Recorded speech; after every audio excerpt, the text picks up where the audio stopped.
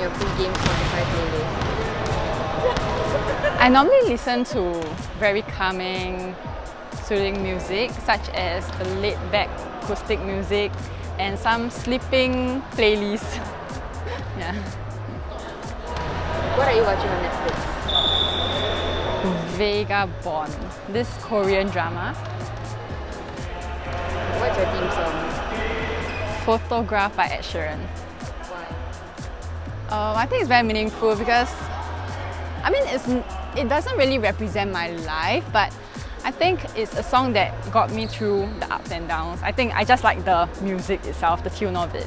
Yeah. What's your signature phrase? Uh, can one lah.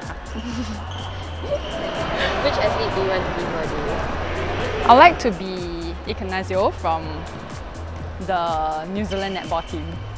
Yeah, so she plays a shooter.